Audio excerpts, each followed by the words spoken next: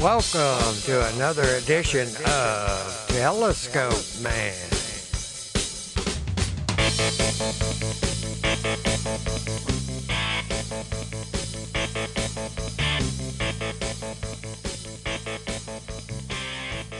Welcome to another edition of Telescope Man. You know, we get a lot of requests on astronomyforum.net about a push to go to Dob, like what you see behind me, which is an Orion XT10i.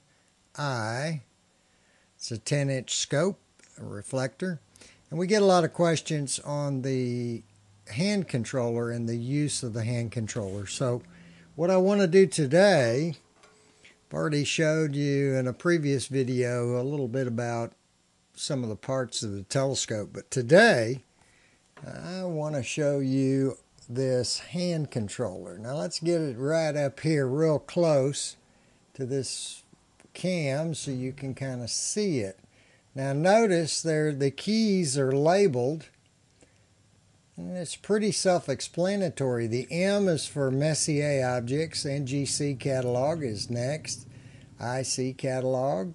Then it's got a list of uh, certain nebulas and star clusters and galaxies and planets and stars, and even a place for user objects. So, uh, pretty self explanatory on what these buttons would do once the scope is aligned. So let me kind of show you that a little bit and we'll go through uh, a fake alignment a little bit inside the telescope man's little office here and we'll try to give you some idea how this works. Okay, so obviously the first thing we're going to do is turn the power on. And when it comes on, it gives you the version number of the firmware that's in this hand controller, the, our object locator. I have never seen an updated firmware come out of Orion yet, okay? It does have a port on the top, uh, and you need a special cable, which you can get from Orion to use for updating the firmware or for plugging in a laptop to this. But I have never seen any uh, newer firmware actually posted anywhere that you could update it. So I'm just going to say right off the bat whatever it comes with, you're stuck with it, okay? So if it works, it works. And if you like it, you like it. Like the way it works. And if it doesn't work, then uh, not much you can do about it because there has never been a firmware update for this hand controller. So the first thing that's on the screen, let's see if I can get enough resolution for you to see that. I don't think so. I don't think you can quite read that. So let me read it to you. It says, uh, point, point, uh, point the telescope vertically and then press enter. Okay, so what it's wanting you to do is just simply take the scope and point it straight up. Now, this is the critical part of setting up this scope, and that is that previously I have made sure that this scope is perfectly vertical using a bubble level on the top, okay? And adjusting a little stop that's down here on the tube to make sure this scope is perfectly level. I've already done that already. So yes, it is level and I'm going to hit enter and it says thank you and then it goes to the next screen which is asking me to pick an alignment star by name. So obviously you're going to have to know a couple of stars in the sky, what their names are and where they're located in order to use this uh, hand controller push to uh, hand controller. All right. So virtually all go-to scopes, except for the Meade LS, you're going to have to know a couple of stars in order to align the scope. So I'm inside right now. Hadn't even checked what's up and what's not. I do know that Vega's up, so I'm going to select Vega, which I just did. And obviously, I would have had to turn the scope to Vega. Okay, let's pretend that's Vega right there. And once I have it centered in my eyepiece on Vega, I would push enter. And it said thank you. And now it's asking me for the next alignment star. So let's pick uh, Arcturus. I know that's up. And okay, I've got Arcturus now. And, you know, let's just say Arcturus is right about here in the sky. And I press enter again, and it says thank you, and it gives me a warp factor. And the bigger that number is, uh, the worse off you are. Okay, you want a very tiny warp factor, point something, point one, point two. You know, if you're getting warp factors like 10 or 20 or 30 or 40, uh, scope's not going to find anything. You have to start all over again. Okay, so once I have done that, once I have done that, aligned it on two stars, preferably widely separated, and on one on each side of the meridian would be great, but just widely separated. Then I can select a target. So looking at my star chart, I know that M13 is up right now. So I will press the M button that you saw earlier and the number 013 because it's a three place little uh, display here. So you got to put the 0 in there to get the 13. All right, and now it's telling me that I have to go so far this way. The arrow is pointing. It says uh, 39 this way and 3 this way. So I would look at my screen and get this onto zero. Okay, and then I would turn the scope and get the other arrow down to zero, which would be in this direction, if I can get it around this cabinet. And that's about right there right about there. And if my first two alignment stars were properly centered, I should be right at M13 right now. I should be right at M13 and be able to see it at least in this finder scope, if not in the eyepiece, okay?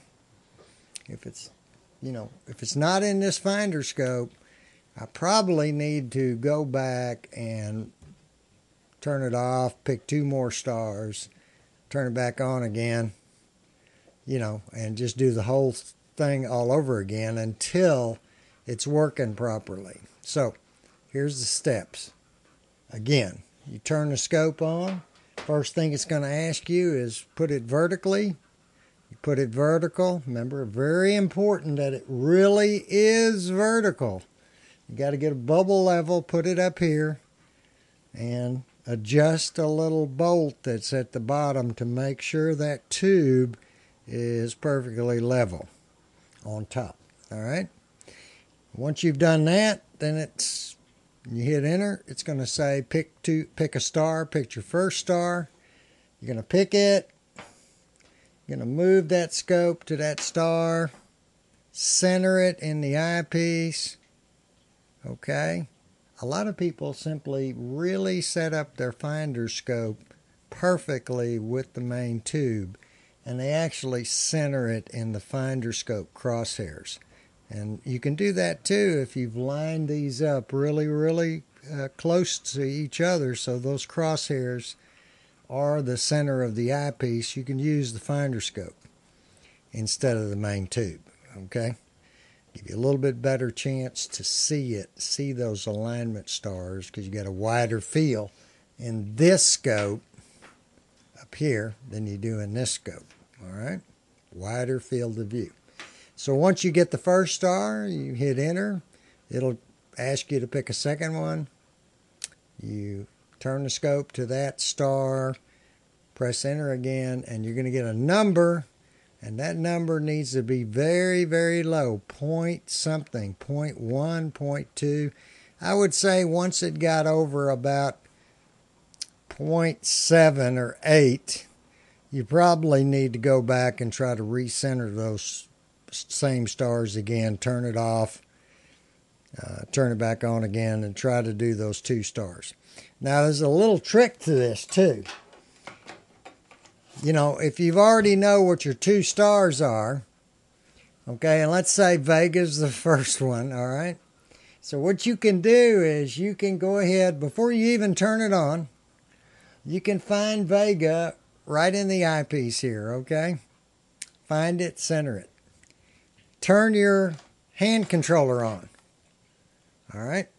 It's going to say, point me vertically. And remember now, we're pointed right at Vega right now, okay? Perfectly. So I go, okay, and I do this and press enter. Then I pick Vega. Guess what? All I have to do is this. Lower the scope and Vega's going to be right in the eyepiece at some point, okay? Because I've already centered it before I did anything, before I actually even turned it on. All right, so I've got my first alignment star right off the bat. Then I'll pick my second one and, you know, have to turn it one way or the other to get that star in the scope. So that's really all there is to these little, uh, they abbreviate them COL. COL, that's how they abbreviate them. You might see us talking about a uh, COL, all right?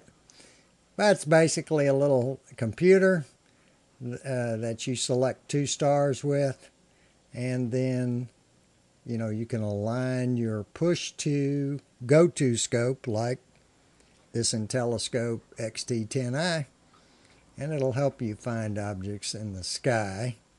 And this is very useful for beginners and for finding objects when there is some light pollution. And there's really no way to star hop because you can't see enough stars to star hop. You can use something like this uh, to help you find those dim objects in the sky.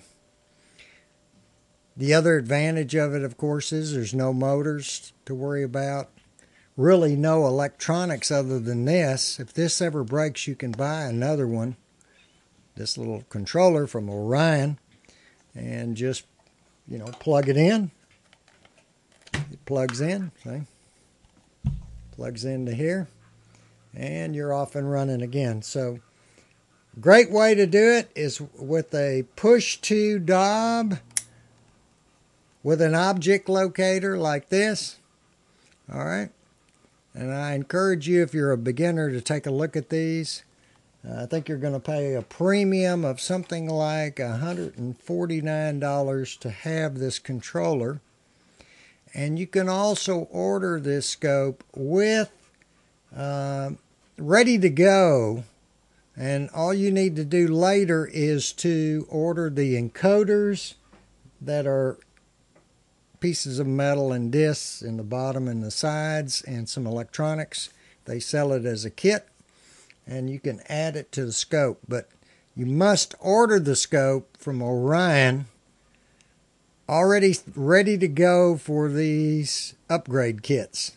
So make sure you do that if you decide to buy one without this, I would certainly buy one that was ready to go at some point. Send them $149 or whatever the kit is, and you can upgrade a manual type scope to a push to go to. And the other thing I do want to bring your attention to, because it's brought up all the time, a lot of people say, I sure don't like those springs on those Orion scopes. Yes, the classic Orion Dob uses a heavy duty spring down here to hold the tube. But these IntelliScopes don't do that. Let me show you what they use. They use a Teflon washer on this knob. There it is right there, see it? little Teflon. And of course, the more you tighten it, the tighter it holds the tube. All right. So when you change eyepieces and the weight changes, really all you need to do is slightly adjust this knob down here for the difference in the weight and your scope's going to just stay just like it is right now and won't move around just because you put a big eyepiece on it. So these IntelliScopes have Teflon that they use to hold the tube. They do not have a spring, okay, like the classic Orion Dob. So with that said, like I always do, I wish you clear skies. And remember to keep looking up to see the greatest show on earth right over your head every single night. See y'all later.